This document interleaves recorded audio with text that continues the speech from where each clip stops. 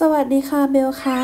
EP นี้นะคะเบลก็จะมาสอนทำตัวหนังสือขอบเปียกนะคะ ทุกคนที่กำลังฮิตมากที่สุดในตอนนี้เลยนะคะ เอาไว้แต่งป้ายทำป้ายให้ลูกค้าได้นะคะทำยังไงไปดูกันเลย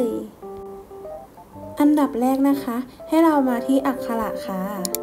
จากนั้นนะคะให้เราพิมพ์ตัวหนังสือตามความต้องการเลยนะคะพอได้ตัวหนังสือแล้วนะคะ ทุกคนให้เรามาที่ layer ค่ะ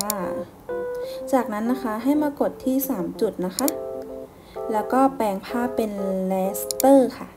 แล้วก็กดใช้นะคะ จากนั้นนะคะให้เรามาที่ถังสีค่ะ แล้วก็มาตรงถาดสีนะคะ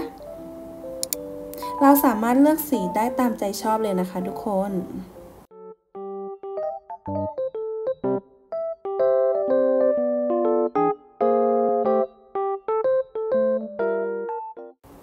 เราเลือกสีเสร็จแล้วนะคะ จากนั้นให้เรามาที่ฟิลเตอร์ค่ะ แล้วก็มาตรงที่รูปแบบนะคะ แล้วก็มาตรงขอบเปียกค่ะ